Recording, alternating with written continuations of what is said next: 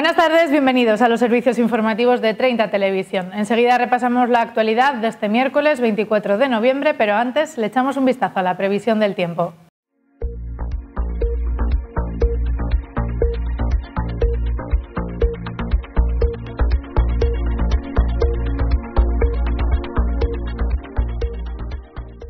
Aunque esta mañana hemos visto el sol, van a volver las nubes y también la lluvia. Va a seguir lloviendo esta tarde y mañana. Continuaremos con cielos completamente cubiertos y con lluvias durante toda la jornada de este jueves. Hoy máximas de 12 grados, mañana suben las mínimas, que serán de 5, y bajan las máximas, que serán de 10 grados.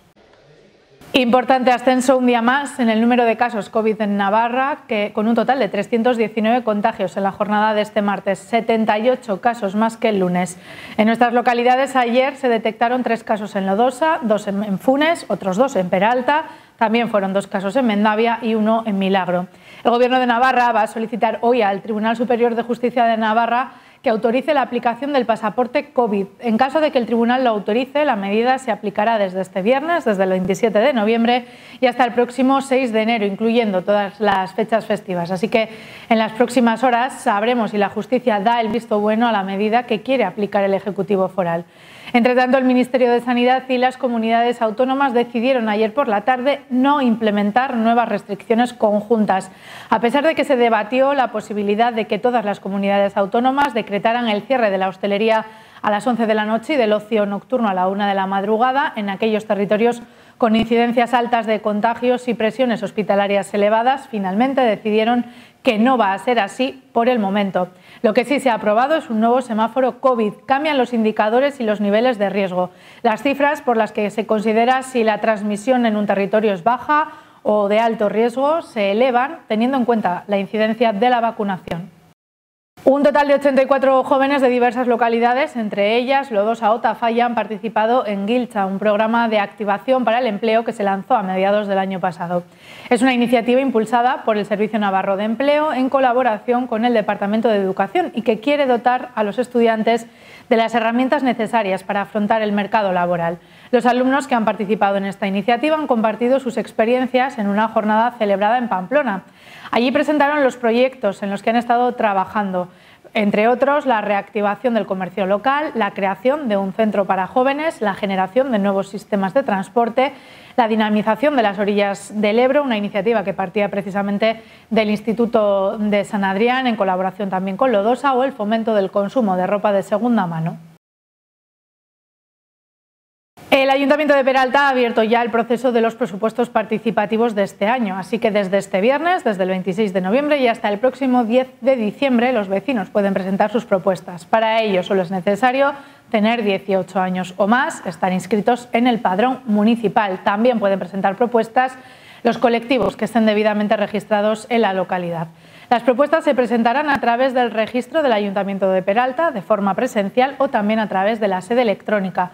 Para ello habrá que rellenar una ficha que se puede encontrar en la página web del ayuntamiento de la localidad y a ella se puede añadir cuanta documentación se considere necesario, también en soporte audiovisual, y de esta forma eh, que los proponentes puedan hacer más clara su propuesta. Cada proyecto presentado no podrá superar los 17.000 euros de inversión y el tiempo de ejecución no podrá superar un año, aunque la idea inicial pueda contener varias fases de desarrollo.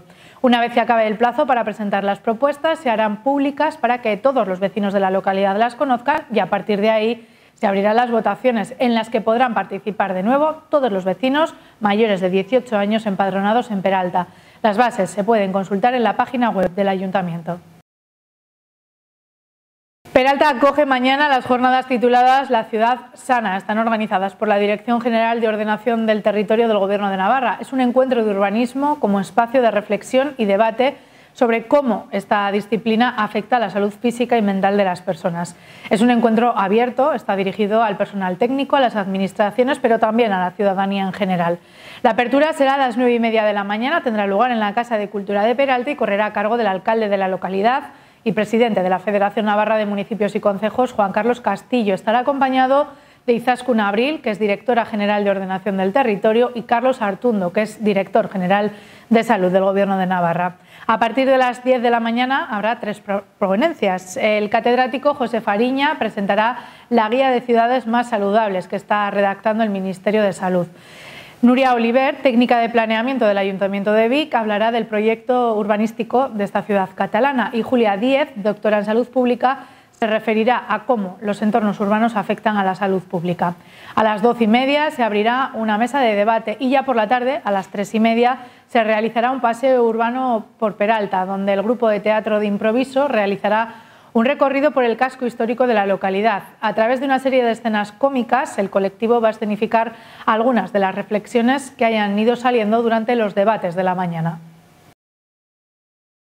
Este domingo en Peralta se va a celebrar la primera edición de, la Feria de las Naciones, una iniciativa de la Concejalía de Cultura y de la de Comercio de la localidad. Tendrá lugar en el Paseo de San Miguel entre las 11 de la mañana y las 2 de la tarde y se presentarán algunos de los productos típicos de diferentes países que van a acudir a esta cita. Además habrá actividades para los más pequeños, música popular de cada una de las naciones representadas y teatro infantil, además de otras muchas sorpresas.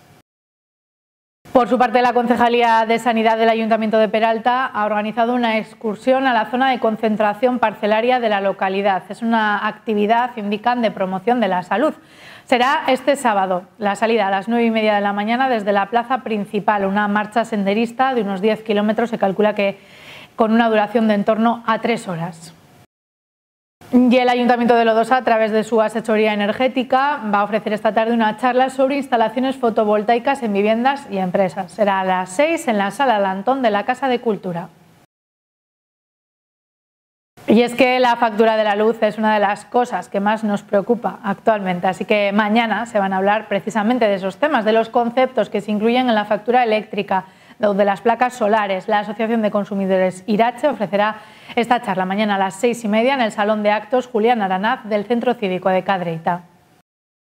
Hablamos un día más de las actividades que nuestros ayuntamientos han programado con motivo mañana del Día Internacional contra la Violencia hacia las Mujeres. En Villafranca habrá una concentración que tendrá lugar a las siete y media de la tarde en la Plaza de España, organizada por la Concejalía de Igualdad y Mujer.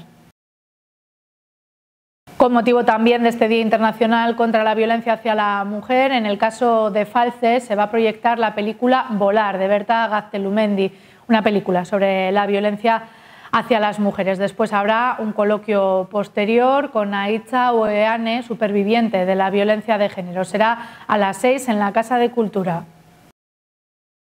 Cambiamos de tema. La Asociación Portegado de Funes, la Asociación de Mujeres de la localidad, ha organizado un taller sobre cómo grabar vídeos y editarlos después con el móvil para subirlos a Facebook o a YouTube. Tendrá lugar el próximo 1 de diciembre entre las 5 y las 8 de la tarde en la Casa de Cultura Antonio Moreno de Funes. Para participar es necesario llevar eh, el móvil y además que tenga acceso a Internet. Para inscribirse hay que ponerse en contacto con la Asociación de Mujeres en el número de teléfono que ven en pantalla. No nos vamos de Funes porque el próximo 11 de diciembre habrá una masterclass de Zumba, una masterclass solidaria. Lo recaudado será a favor de La Palma. El donativo, en este caso por participar, es de 5 euros y la jornada tendrá lugar en el pabellón de Funes a las 5 y media de la tarde. Hablamos también de una serie de charlas que van a tener lugar en los próximos días en eh, Andosilla y en Lodosa, organizados por la Icastola y Vallalde. En concreto, Educar sin Miedo, una charla eh, para educar con parentalidad positiva, que tendrá lugar en Andosilla el día 26 en el casino. La ponente será Leticia Garcés y a partir de las cinco y media de la tarde. En Lodos aún cuenta cuentos el día 2 de diciembre en la Casa de Cultura a partir de las cinco y media.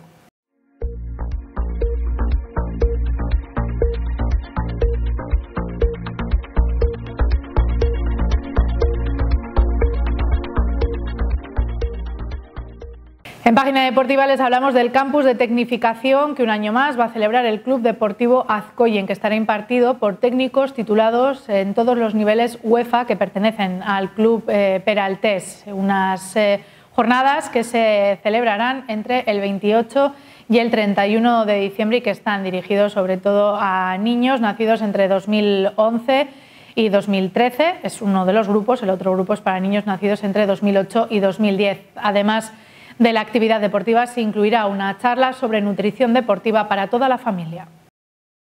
También les hablamos de un campus de rugby que va a tener lugar este fin de semana para niños y adultos en Funes. Será tanto el sábado como el domingo, lo organiza el Club Multideporte Funes, el club de rugby de la localidad y tendrá lugar en el Estadio Juan Bertol. Será entre las 11 de la mañana y la 1 de la tarde, pero hay que inscribirse en el número de teléfono que ven en imagen. Nos vamos hasta Tafalla porque hoy se proyecta el documental Montejurra 76 claveles rojos para un adiós. Será en el Centro Cultural de Tafalla. La entrada cuesta un euro y será a partir de las 8 de la tarde. Este sábado se celebrará la Halftime Party para los quintos de 2002 y 2003 de Villafranca. Será entre las 7 de la tarde y las 2 de la madrugada en la Plaza Chica, en la calle Mayor, con diferentes DJs que van a ponerle música esta tarde. Y los más pequeños serán los protagonistas de la cita cultural que este fin de semana va a tener lugar en Lodosa. En concreto, el día 28 a las 6 de la tarde, payasos Kiki, Coco y Moco pondrán en escena Somos Naturaleza en la Casa de Cultura. Música en Peralta con la coral de la localidad y la orquesta de cámara de Pamplona que interpretarán el Requiem de Faure. Será este sábado a partir de las 9 de la noche en la iglesia San Juan Evangelista de Peralta. Pues así llegamos al final de este repaso por la actualidad. Gracias por habernos elegido un día más. Ya saben que mañana volvemos con más cosas. Tampoco hoy se olviden el paraguas porque va a seguir haciendo falta. Hasta mañana. Adiós.